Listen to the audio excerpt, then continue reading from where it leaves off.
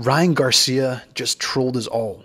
Now, when the build up first started, I generally did think Ryan was just trolling us. But as the fight got closer and the constant presence on social media, coming in overweight and the so called beer on stage, I thought he had lost it at that point, if I'm being honest. Well, he proved me wrong for this one as Ryan ended up probably having one of the best performances of his career. In the opening minute of the fight, Garcia was the one who made Haney pay with that ripping left hook that rocked him. And you can't help but think that punch alone did hurt Haney from that point, as he was clearly shaken from the force of it. And Garcia also took one to land it. While if you guys watch my pre-fight breakdown, this is something I've said Ryan tends to do by interchanging the jab with the left hook. Now from here, we did see Haney go a bit on his bike, doing the sensible thing, trying to outbox him for the next four rounds. And in my opinion, he even wobbled Ryan in the third round, I believe, with his own left hook, ironically, as Ryan once again made that mistake of posting out his lead hand and dropping the right hand. Nevertheless, Ryan took it pretty well. Once again, Ryan came back well in the sixth round, catching Haney with a right down the middle that I believe clearly shook him, and I think caught Haney by surprise as well as the quick flurry kind of had to put him on the defense and cover up. However, it was probably round 7 that was the most memorable of the fight,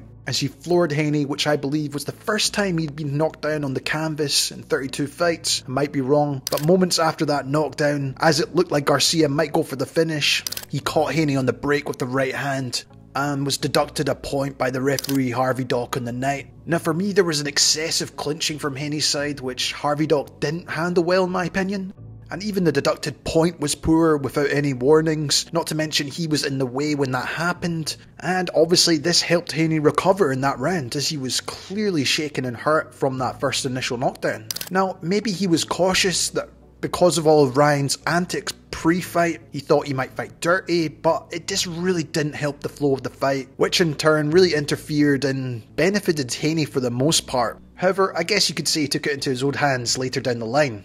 But in terms of the knockdown itself in the 7th, as Ryan once again mixed his jab before throwing the hook, completely catching Haney off guard with it.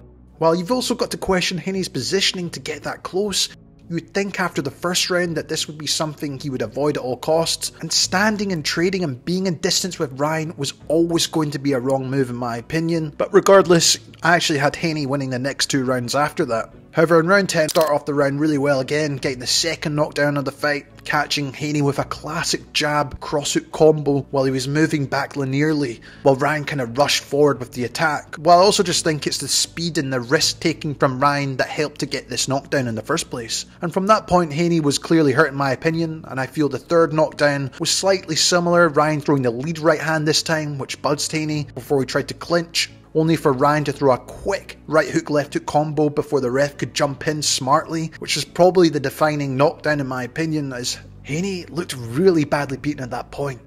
And well, Ryan Bloody did it.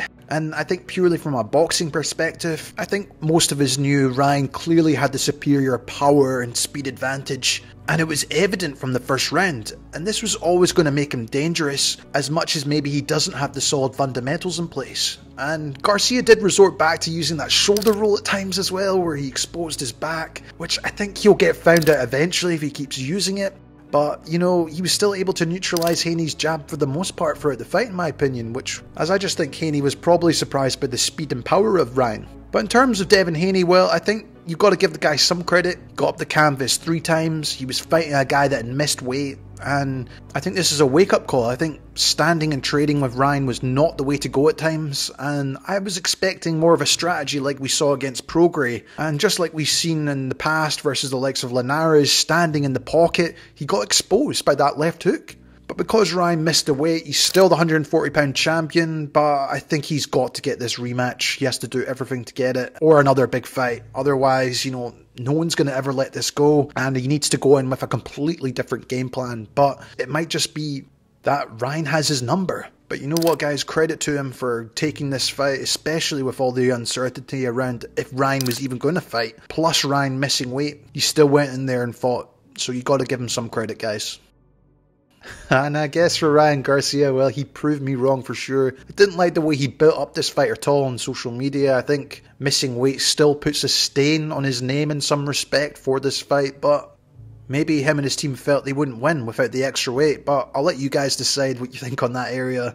But I think styles make fights as well. I think Ryan's high risk, high reward style of fighting is not really pretty on the eye at times. If he lands that left hook, he's going to do damage. Just the speed and velocity he throws at is just unbelievable and exciting.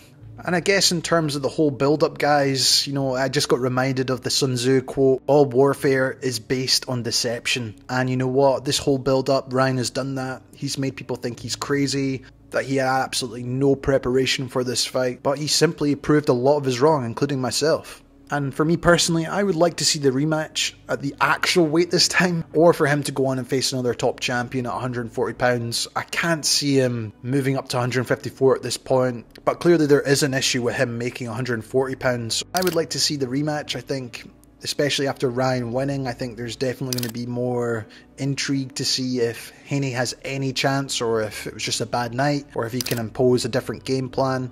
There are those elements, but I imagine Ryan will probably look to fight someone else at 140.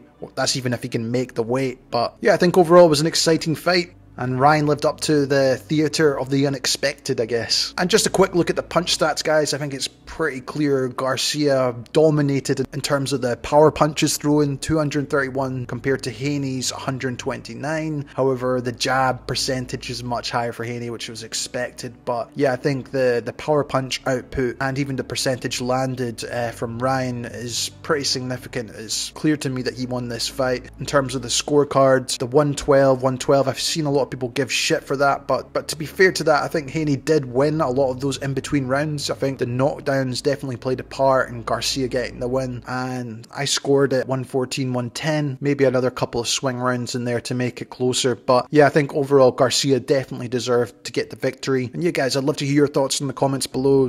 What do you make of Ryan Garcia winning this against Devin Haney? Would you like to see the rematch? And where do both guys go from here? I'd love to know. This has been Jamie from Boxing Life. Thank you so much for watching, and as always, guys, I'll see you in the next one.